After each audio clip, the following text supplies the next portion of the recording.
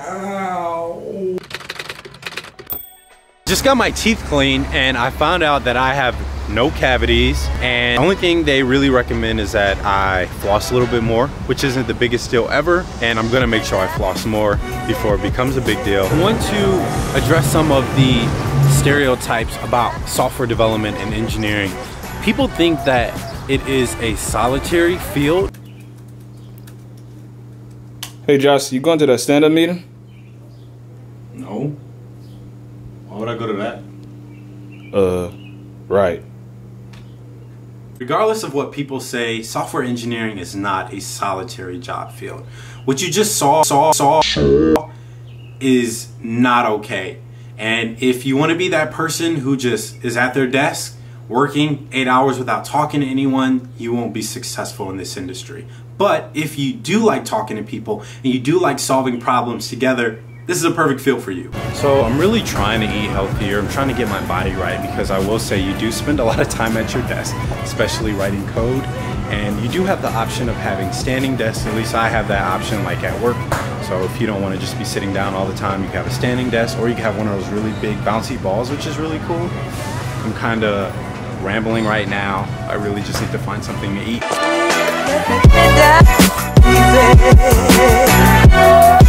Uh, can I like create my own sandwich? Here, do you all have any chicken salad right now? Yeah, grab it off the iPad. I do YouTube, so oh, yeah, just vlogging and stuff. I gotta, I gotta get my channel together. Oh yeah, that'd be oh, sweet. Oh nice, yeah.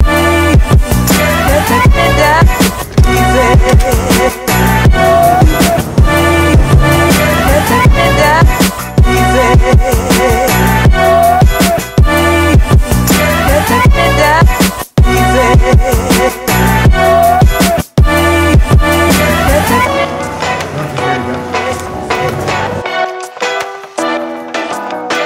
you a problem solver? This is such an important skill to have as a software engineer because you're literally solving problems all the time. That's literally your job is to solve problems. You don't always have the answers online or in a book. A is the father of B, but B is not the son of A. That of course is a small example, but if you like the challenge of trying to prove or solve things that haven't been proved or solved before, this is definitely the field for you.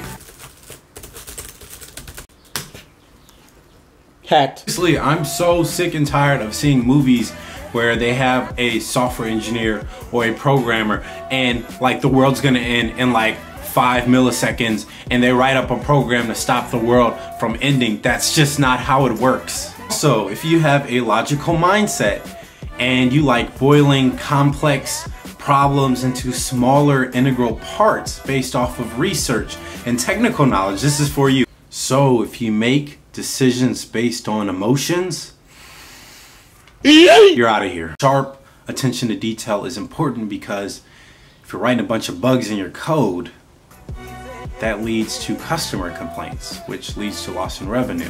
Last but not least, you're gonna have a dedication. You're gonna have to have a dedication to learning. This isn't one of those jobs where you learn it once and then you don't have to learn it again. No, software is changing all the time.